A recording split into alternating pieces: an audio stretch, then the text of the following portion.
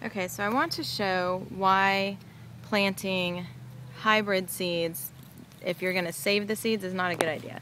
What I have here is a giant sunflower head. This um, actually probably bloomed and matured by the end of May. it was already done. Meanwhile, we have others that are still like just now starting to put on flowers. We have some that are just about to bloom, still haven't bloomed. Um, we have others like this one that are super duper small right here. What happened is last year in this stand we had planted um, sunflowers across the side of the garden over here and then the side of the garden behind me. And we left some of the seed heads standing for the bees and the birds to enjoy. Um, when they when the seed heads dried, they were just hugely attracted to the cardinals, and so we let the cardinals just enjoy. And so then this year we had a whole bunch of volunteer sunflowers. These were all seedlings that came up as a result of last year's sunflowers. Um, as you can see, now what we have is a huge range. I mean, look at the little tiny ones right there. They're so small. They're probably a foot and a half tall, and the sunflower head is that big.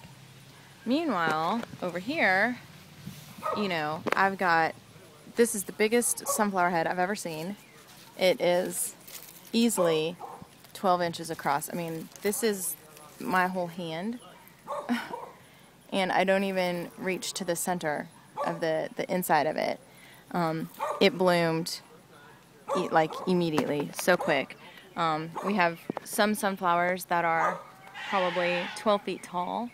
We have some that, let me see if I can find a center, like this one, where there's no room for seeds in there, no seeds.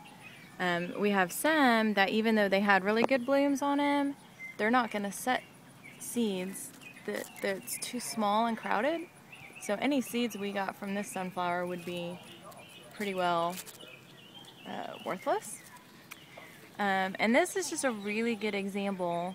Um, this is actually really close to the parent plant, the hybrids that we planted last year. It's pretty close to what they look like.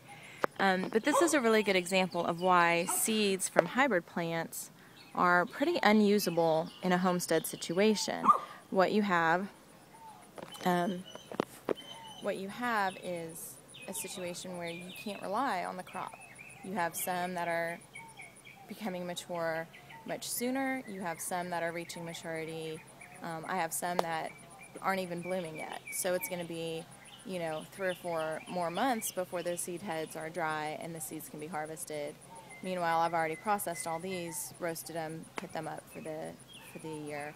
Um, when you are saving seeds from open pollinated heirloom varieties, you can trust that the children plants are going to be similar to the parent plants um, and they're going to come true to type. So that's the reason why when you hear people talking about the importance of heirloom varieties, the importance of those open pollinated varieties, uh, this is why. It's because of the sustainability factor. These plants are essentially worthless um, to the homestead.